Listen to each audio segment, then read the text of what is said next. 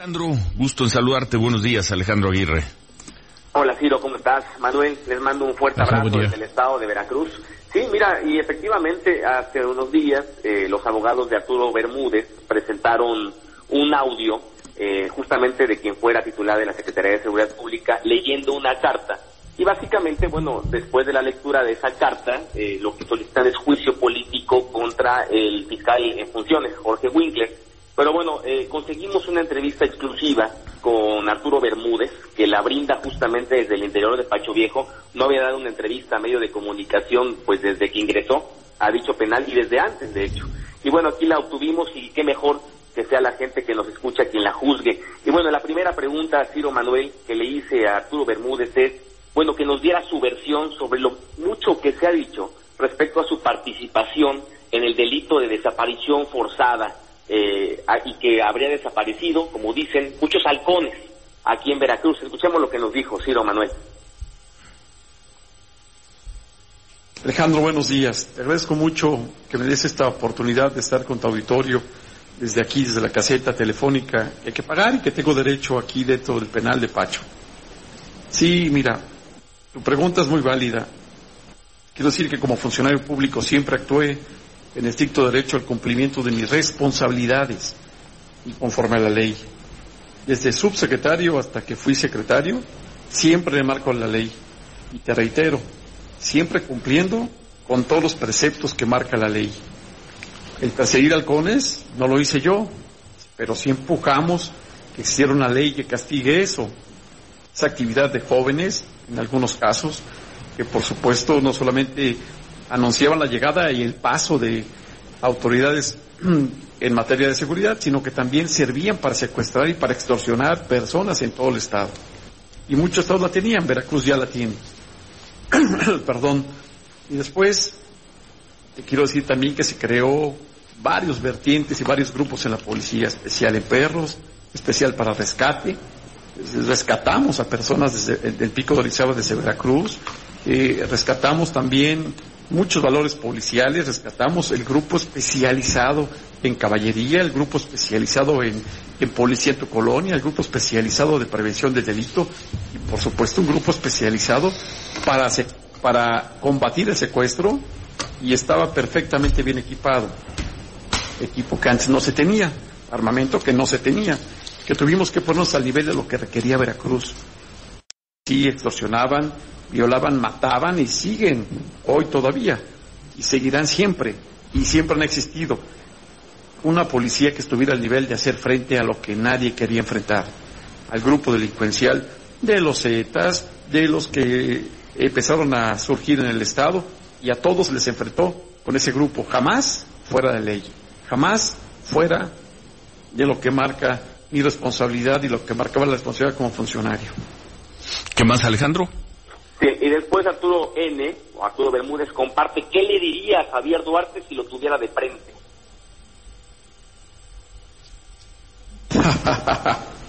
ah, Alejandro, buena pregunta. ¿Qué le diría a Javier Duarte si lo tuviera de frente? Yo te quiero decir que todos somos y debemos ser responsables de nuestros actos. Todos. Y te reitero, en mi caso solo puedo hablar de mí y lo que a mí me consta. Por supuesto, el ser funcionario, responsable de área sensible como seguridad pública, ¿quién la quería tomar? ¿Quién la quiere tomar hoy?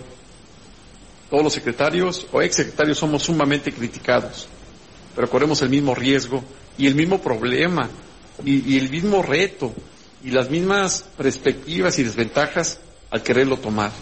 Mas, sin embargo, estamos convencidos de poder aportar algo. Y eso hay que reconocerlo. Y no todo el mundo lo reconocemos.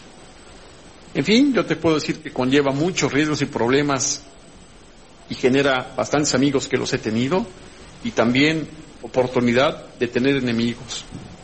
Al servir y al cambiar la vida a muchas familias, también le cambia la vida a mucha gente que tienes enemigo y se forman enemigos propios.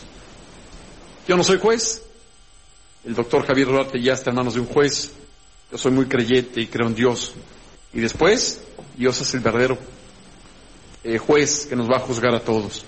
Así es que yo sí te puedo hablar de lo mío. Y lo mío es que en materia de seguridad Javier Duarte fue mucho más inteligente y mucho más valiente que la pasada administración y apoyó a los policías con salario, con armamento, con mejores cuarteles y a tratar de dignificar a la policía. Y digo tratar porque de veras es, es sumamente un reto muy, muy difícil de lograr en todo el país.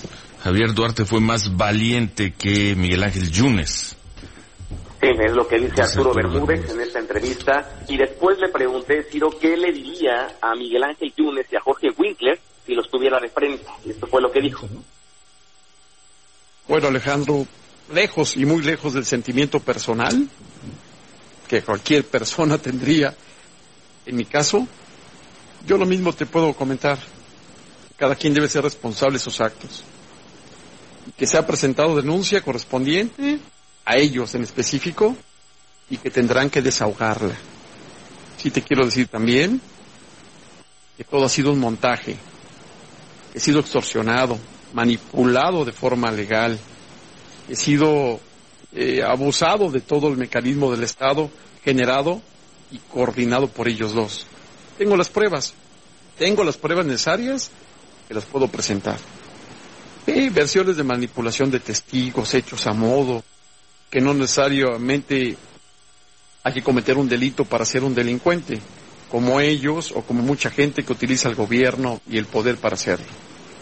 Yo sí te quiero decir que lo único que pido es justicia y que se me trate conforme la ley lo establece y que me den oportunidad de defenderme, no que nos hagan como hoy nos han estado haciendo, manipulando a la fiscalía con los fiscales en contra de mía y en contra de todas las pruebas, desapareciendo pruebas, eh, forzando a testigos a declarar.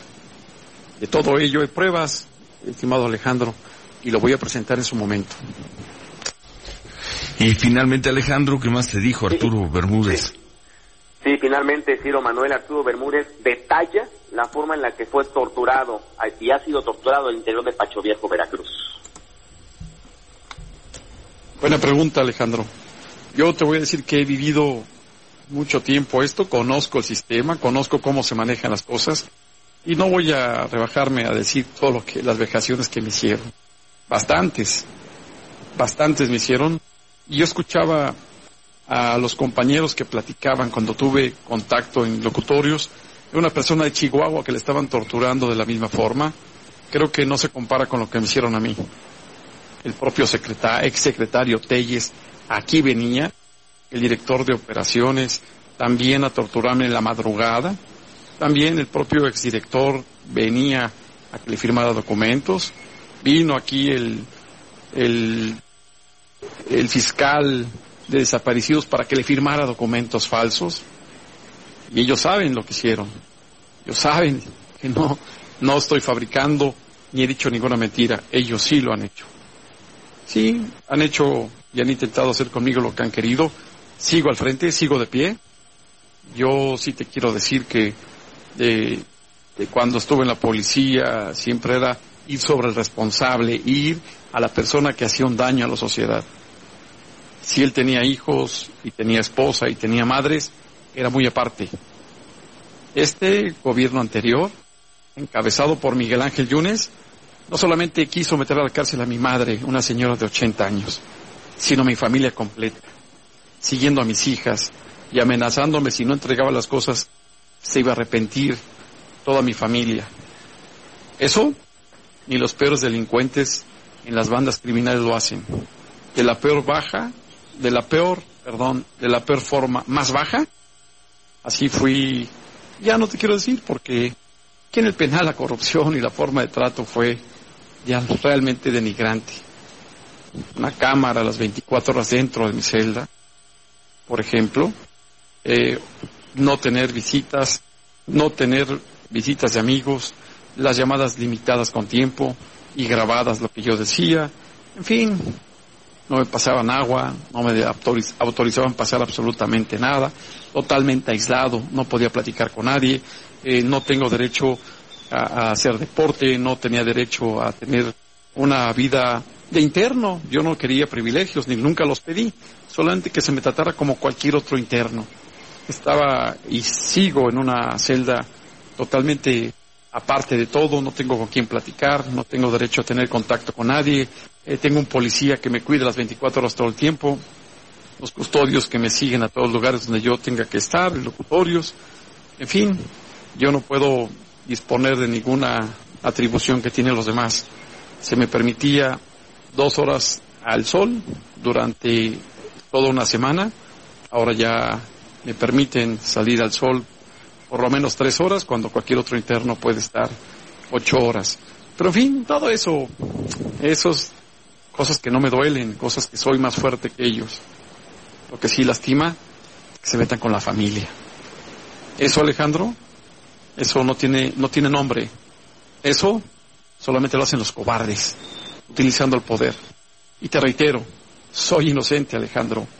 Soy una persona como cualquier otra persona 20 años trabajando en el servicio público, y me podrán acusar de muchas cosas y podrán inventar muchas cosas.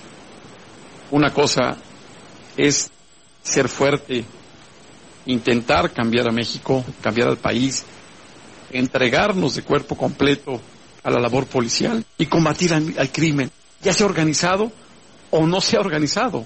Y así lo hicimos. ¿Eso es un pecado? ¿Es un delito? No, Alejandro, no hay que confundir entre aplicar la ley y ahora lo que los señores anteriores inventaron de nosotros y de mí. Yo te agradezco mucho el tiempo que me das. Muchas gracias. Bueno, está, qué acusación grave está acusando al exsecretario de, a Jaime Telles, Alejandro, de torturarlo al secretario en los tiempos de Miguel Ángel Yunes. Qué grave. Sí, Sí, sí, sí, se refiere a quien fuera secretario de Seguridad Pública, Jaime Telles, también se refiere al a quien es fiscal de desaparecidos también aquí en el estado de Veracruz, también hace referencia a otros personajes. El fiscal, el fiscal era es Luis Eduardo, Luis Eduardo Coronel. Luis Eduardo Coronel, lo está acusando a los dos de torturarlo. Así es, así es, de manera concreta, directa, y además eh, de manera exclusiva para nosotros.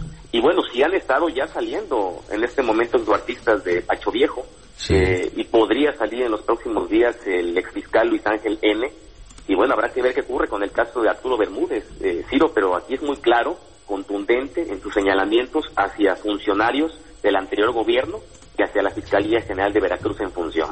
Pues si los denuncia delito grave, la tortura, la autoridad va a tener que ir sobre el señor, sobre el, el, ex secretario Telles, sobre Luis Eduardo Coronel, sobre todos ellos. Sí, y tendrá que ir sobre ellos y además, este, bueno, también hay que ser muy muy claros en que ya hay una, una solicitud de juicio político que el equipo de Bermúdez ha hecho contra el fiscal Jorge Winkler. Se le han juntado ya tres juicios políticos o solicitudes de juicios políticos al, al fiscal en funciones, tiro con el de Arturo Bermúdez, y muy probablemente, habrá que ver, genere denuncia después por estas acusaciones que está haciendo aquí con nosotros. Bueno, pues felicidades, muy buena entrevista. Gracias, Alejandro. Te agradezco, Ciro. Te mando un abrazo, Ciro Manuel, desde Veracruz. No había hablado Arturo Bermúdez, el exsecretario de Seguridad Pública de Veracruz. Graves acusaciones.